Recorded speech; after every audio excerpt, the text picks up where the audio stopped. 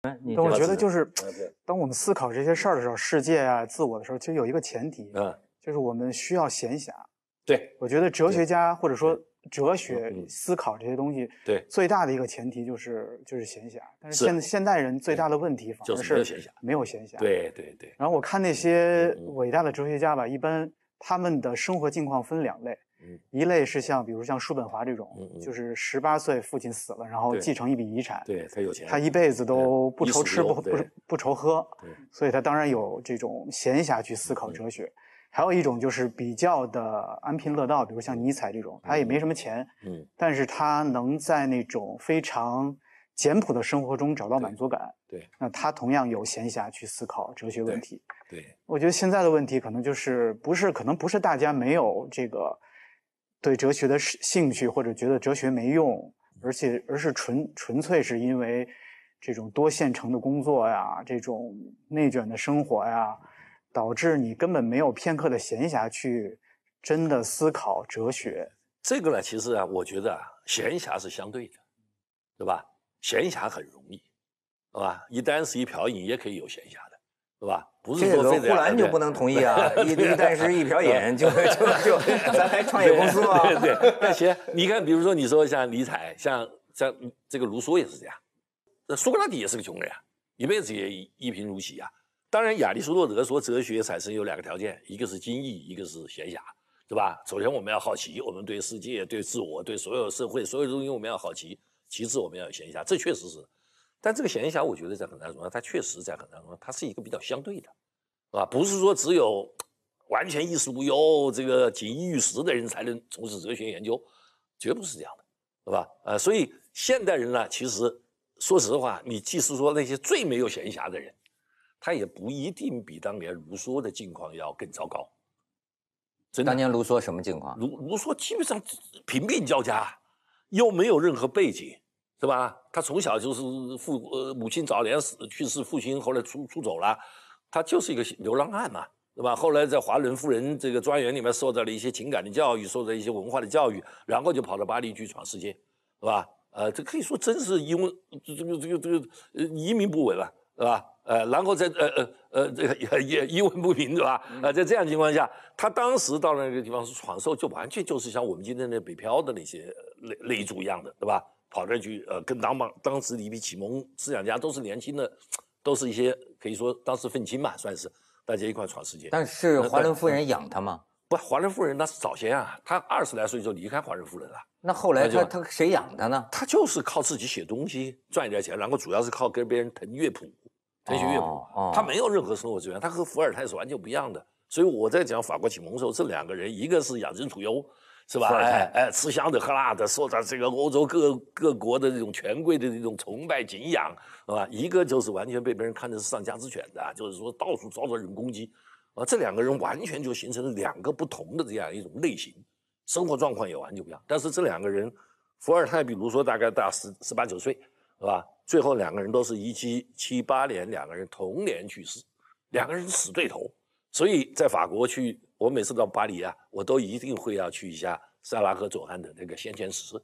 先贤祠下面下到地下室，所有法国的伟大的文化英雄，包括像居里夫人呐，像维克多·雨果啊这些伟大的文文化科学的这样一些巨巨擘，他们都埋在这里边。嗯，而一进去，两个面对面的两个人，一个伏尔泰，一个卢梭，是吧？这两两个哲学家完全不一样。伏尔泰那确实有闲暇。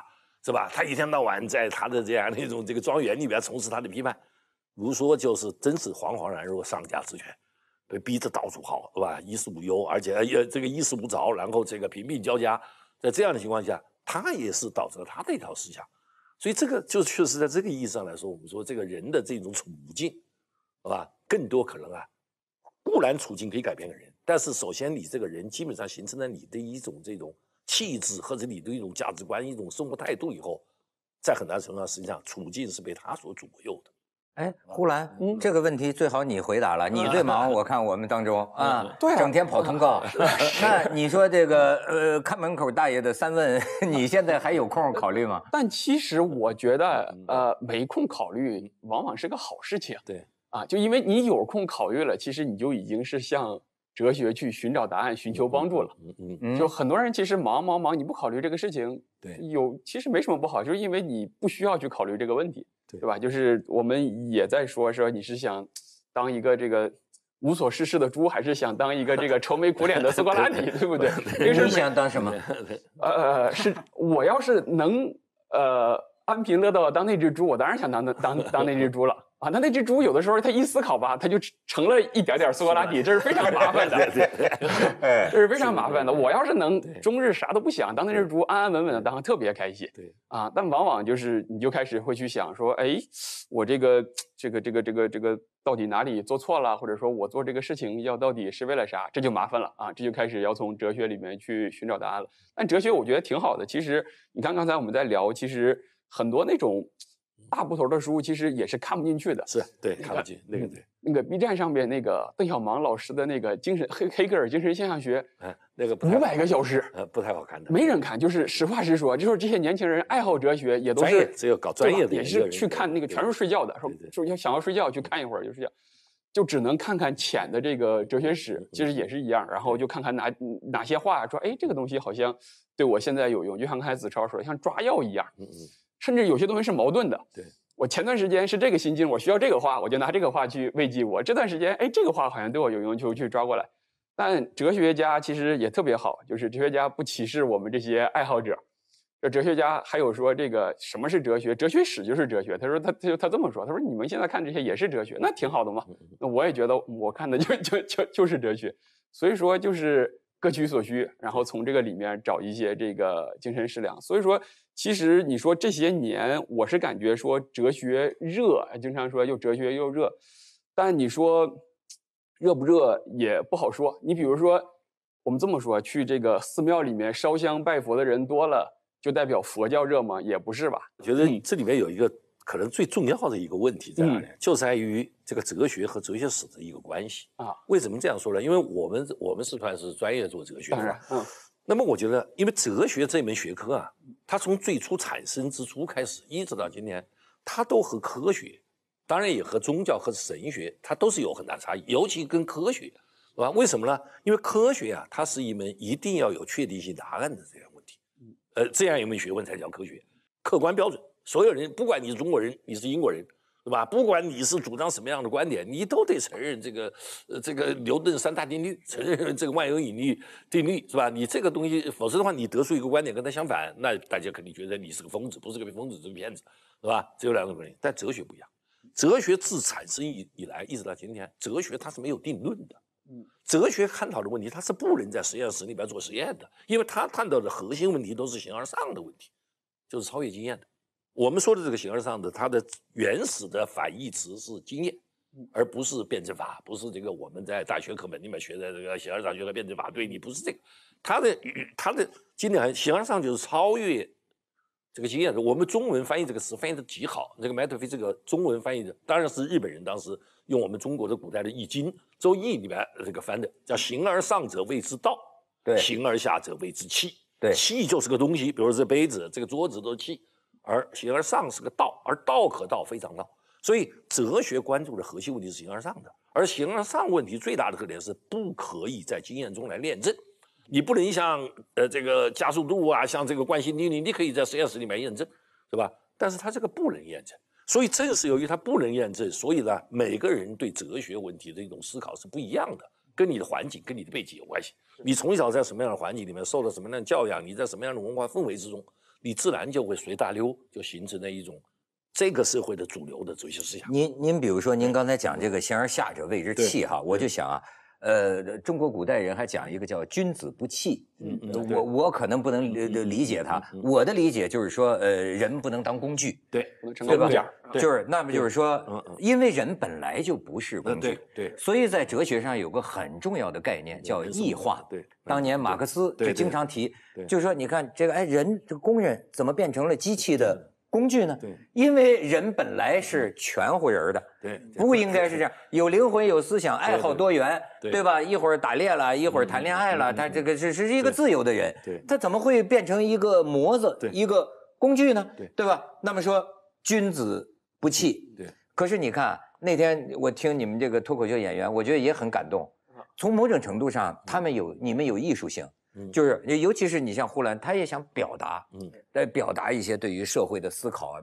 但是对他们来说，有时候就会有一个问题，就是主要是要首先要让观众乐，嗯，还是主要是你个人得以表达？对，那我们毕竟还是一个服务性，对对对，我们是一个服务性的，我们首先要服务于他，必须要让他笑。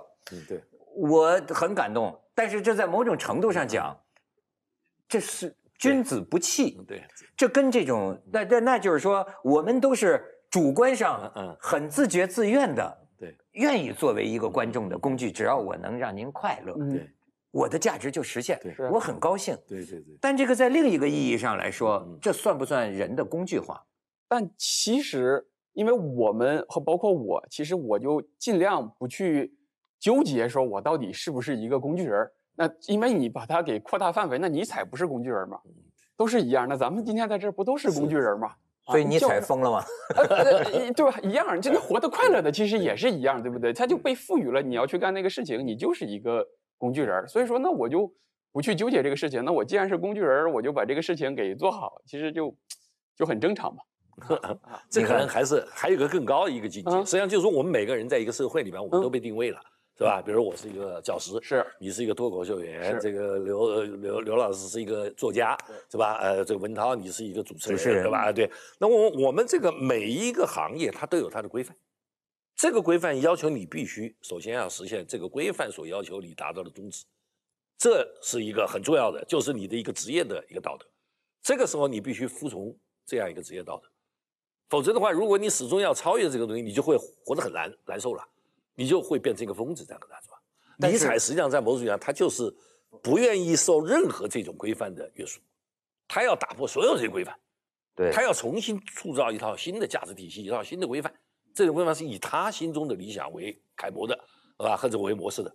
这个我们说我们人很难做到这个，是吧？所以思想也很对。我们每个人可以在精神上是自由的。我们在这样做的时候，我们符合某一种规范、某种职业、某种行当要求我们的那种行为规范的时候。我们意识到，我们是在做一个职业的要求。是，这和我自己，我最好，但是最高的境界是不是能把这两者融通在一块一个方面又能够率性的把自己想讲的东西表现出来，有一种艺术感，同时也果然能够引起观众的这个热爱发酵。没错，对这个，你看，我们就找到了哲学在现代对于个人安身立命啊。对，我觉得哲学对我的安身立命作用非常大。这些思考，比如说当年二战之后，很多哲学家，像是那个叫什么汉娜阿伦特，是吧？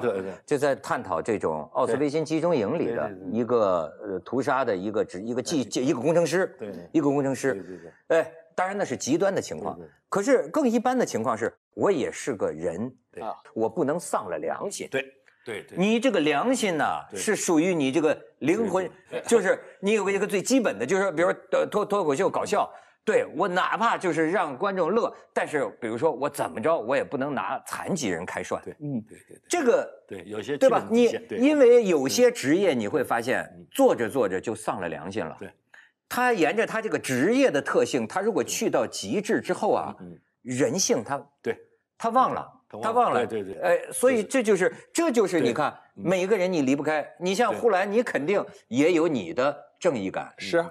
对。我其实觉得我这些年讲当老师啊，就是你从从你当学生的时候，我反正在武大讲课还算确实这几十年都还是比较有名气，对吧？有的留着，家伙太火了，满坑满谷。但是我老说，我有时候在讲为什么我会自己，我觉得我讲课还讲得不错，欢受学生欢迎。我后来经常会说这么一句话，我说一个老师站在讲台上，如果他首先不能感动自己，他就不能感动学生。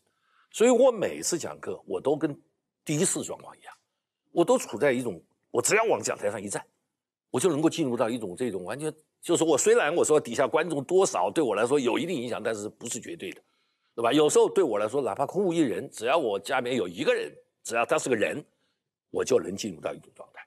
因为我觉得，我我首先忠实于我这样一门学问，我这个职业要求我做的事情，是吧？而这个事情又是我热爱的，所以我首先得感动我自己，然后就可以感动别人。啊，同样很多大学老师为什么你在听他讲课就觉得好像是照本宣科啊？什么这个听起来味同嚼蜡？就是因为我觉得他不能感动自己，他从里面没有快感，他在讲课里面他得不到一种感受，是吧？哎呦，所以我觉得真的，我每年一直到今天我都快七十了，嗯，我每次只要一站在那儿讲课，我就能进入状态。哎呀，呃，我觉得我始终，我觉得我很爱热爱它，所以这样我实际上就把我个人的这样一种兴趣和我这个职业要求我的操守，我觉得就很好的结合在一块儿。所以我，子超刚才想说什么？我觉得这是一个其实挺。挺挺难得的一个状态，因为我觉得现在大部分人是觉得自己的工作没意义。对对对，他把工作跟自己的，就他在工作中或者在那种工具人的状态下，他找不到一个意义，找不到一个快乐的源泉。就怎么能把这种身为工具人，就从这种你尽这种社会属性这个责任的这个同时，你能从中找到意义，找到快乐？其实这是这个这个我是觉得怎么能从哲学中去找到一些灵感。这个确实，这个是我觉得挺重要。这现在有个词儿叫专业激情主义。对，您说这个，我觉得在咱们武大挺有名的。哎，武大老师好像，当然别的大学都都老师都好啊。但是我我我们那个时候记得，我我也是，我记得我们是中文系有一个老师叫李静一，李静一老师宋词哎，对对讲因为我不知道他学术成就，我不了解哈。但是也是学生们爱听他讲课，就是因为啊，你看见一个人啊。特别有机，像很多我们圆桌派的那个呃，这个这个观众啊，我有时候发现，你看我们请一些哲学家，甚至请科学家来，他们的反应也非常有意思，他们就是说啊，听不懂也爱听。就是看见一个人呐，眉飞色舞、激情满满 的讲着他自己擅长的事情的时候，就你觉得他发光，羡慕。他本身那当时那李金英老师，我记得大家其实去为什么？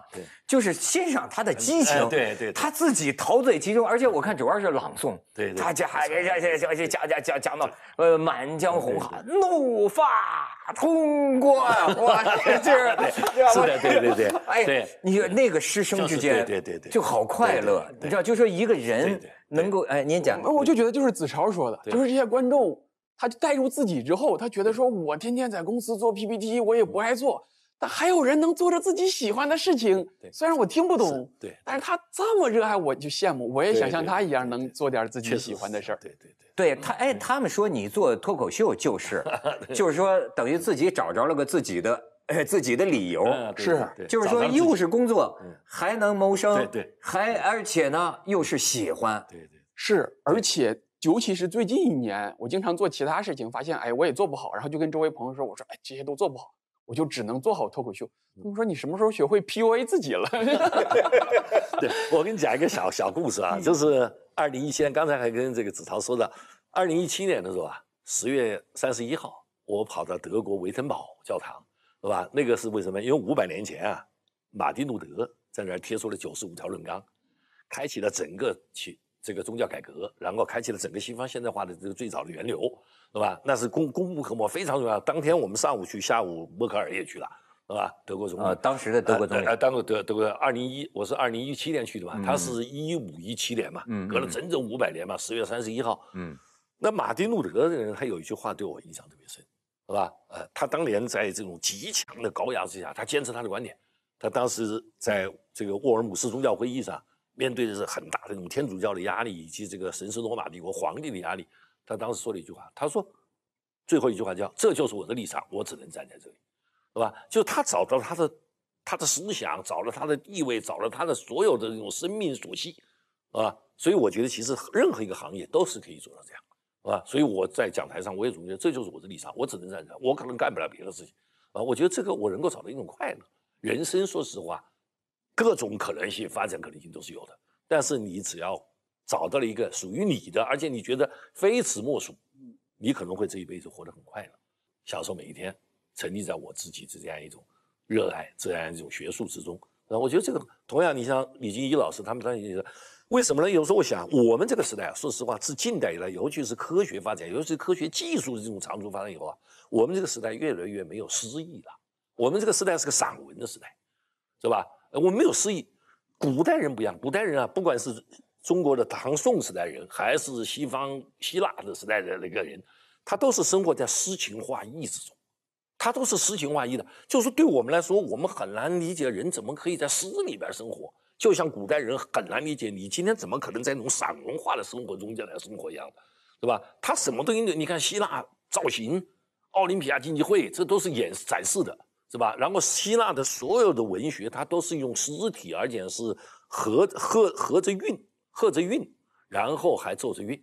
它是诗歌乐舞诗为一体。同样，你看唐朝那些诗人，他也是，他不是像我们今天什么床前明月光，疑是地上霜，不是这样念出来的，他是吟出来的。就像刚才你写写李金一老师那样，对对对，是吧？他是吟着，而且他还是伴着舞步，他有时候还踏着舞步，他还在奏乐。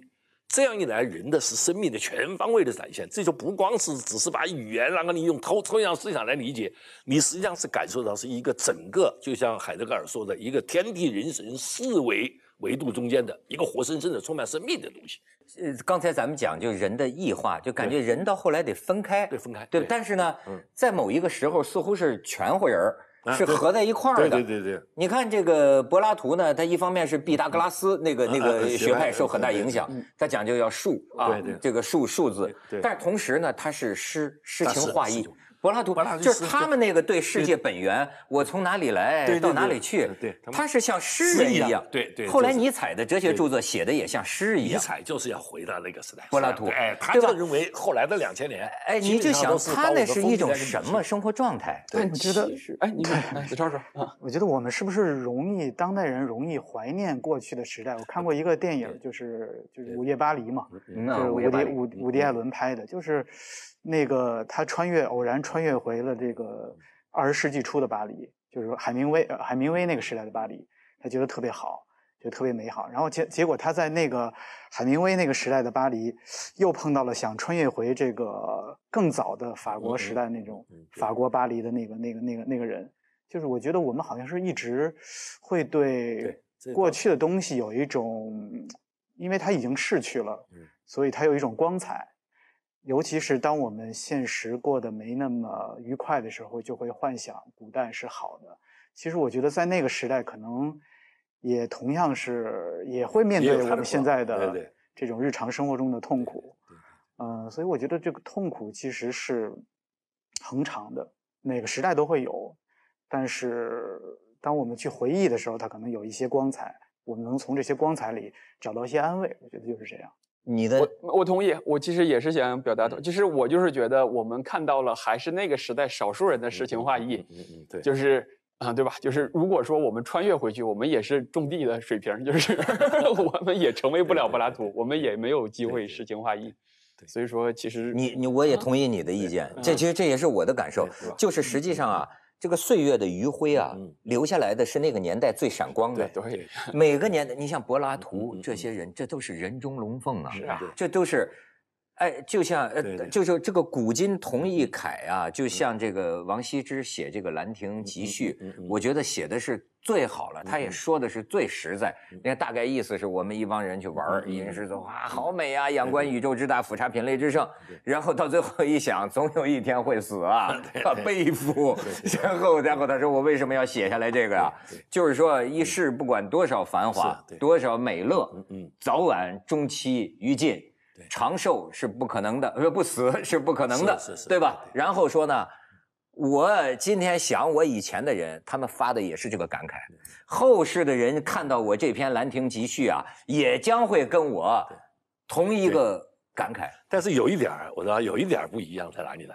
就是我们整个环境的一个大变化，这个是没法比的。比如说，我举个例子，比如古希腊人，我说了，他们是在剧场里面长大的，嗯，我们是从小题海战术。长大的是吧？我们从小做题，我们这样一种像数学这样一种计算，它导致了我们这个理性最大的特点就是精于算计，对吧？我们一定是按照呃这个成本要得到多大的收益。我们从小就开始设计人生，都是这样的，是吧？我包括选择商业、选择什么学校，呃，最后工作找什么样工作，他都是首先这样考虑。他充满了这种从小的这种数学的教育，这样一种计算，这样一种题海呃战术培养出来那种教育的结果。是，但是你是在剧场里边那种在诗歌乐舞里面氛围少呢，你可能更多那种情感的东西会更丰富。但你最后打不过打不过斯巴达就是必然的。斯巴达人他也不能说是就这个了，只能说。呃，怎么说呢？这个可以说啊。后来罗，你可以更有例子，罗马最后征服了希腊，是吧？哎，对对对，呃，这个确实，我们说文明不在于它是否强啊，当然，野蛮才会战胜文明，对吧？关键是在你你，因为我们每个人只能做一个人活，我们生活在什么氛围之中？而且是不是说当年希腊的这个雅典的这个民主制啊，呃，是不是说其实真正的这个有投票权的公民，他也就是占人口的百分之十七分之一。七分之一，雅典就是说，当然各种各样不同的统计数据啊，有一种说法就是雅典祭祀大章伯利克利这个鼎盛时期，大概它的公民人数大概就四点三万人，但是雅典所有人加起来，包括奴隶三十一万人，对吧？呃，那也就是说只占七分之一。那那个时候的奴隶呢？他们的精神生活，奴隶他们没有任何什么救。奴隶在当时从希腊到罗马，他基本上不属于人，他属于在罗马属于物产法，对吧？他属于物。就跟你家里的工具一样的，它是没有，因为那个时代它是个奴隶制社会嘛，它那个很明显的吧。所以你看，我们也要看到时代的进步。对对，那是那时候七分之六都是物权的。对对。但是今天你看，奴隶解放了，我们都获得了人的尊严。可是实际上，后来你觉不觉得，像比如说好多互联网公司的码农们呢什么的，他们又有被重新被物化的这个危危机呢？这才是最重要的。你今天这个比例都是对，的，是不是？我觉得为什么比例是对的呢？基本上就是一个人管七，哎，这个甚至是现在互联网公司基本上说一个人就是管七个人，就这是一个最完美的组织结构。百分之二十、百分之八十是吧？就说这个组织结构说一个人就是管七个，这是最好的。你看看这个比例是跟 那个真正雅典那个，那那 又过去了。那那那那那那。七分之六该怎么该怎么自处呢？我不知道，这问问张老师。我我也好奇这个话题。你觉得他们活的这被就感觉拧巴吗？我觉得，我我你让我想想看，你让我想想看，你自己好像在当年创业的时候，你你你没这个感觉。呃，但其实也就是创业，就是呃，他用很多，比如说钱啊，或者说这个这个这个。职位啊，这些东西来去让你获得一定程度的这个满足，啊，就是说，比如说他给你规划一条你的这个升职路线，你努力没有这个这个这个路线嘛？对，对吧？他也没有说多少年多少年能成为公民，但我们现代人聪明就聪明在这一点，就是说你现在就是一个基础码农，那你过两年是一个高级码农。然后你过两年，其实有块肉在前面掉着。对呀，你一样嘛，这奴隶、高级奴隶、奴隶总监啊，是这一一路这么上去。但这样子，大家其实就是心里好受一点啊。但其实就是优绩社会的一种逻辑，它前面老有一个骨头，然后你觉得你拼命跑两下就能叼到那个骨头，它一直给你一个，就像就像一个大饼吧，就所谓我们他们互联网公司说画大饼，其实就是。画一个画一个东西，然后你觉得跑两下，努力跑两下就能吃到那个饼，然后我觉得可能慢慢的会变成一种那个饼越来越遥远。那这个时候你还是不是觉得，呃，这个东西是可行的？就是那个那个人的工具性是不是还能坚持？就是就是一个疑问。那后来你觉得有够的一天吗？有只停该差不多了的一天吗？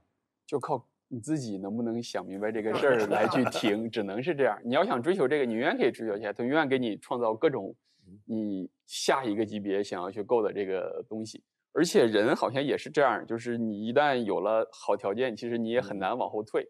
对啊，对吧？就是你说我这个吃好的吃习惯了，突然让你这个吃差的，你又又觉得不习惯。但其实它也是利用了你这个特性，来一步步驱使你去。干活儿往前走，这个就可能是现代社会比那个时候更稳定的一个一个原因，就是啊，这个组织结构分工其实只是更聪明。所以你这个青年人，你能理解中年人的辛苦，你特别能理解，而且我还能理解青年人的辛苦，就是就是就是就是刚才就是说那些互联网公司天天就做 PPT 去干活写代码的这些朋友们，到底如何能感受到或者像看到节目里面这些科学家一样说我的。工作是有意义的，我也想像他们一样。对，我不知道怎么去解决。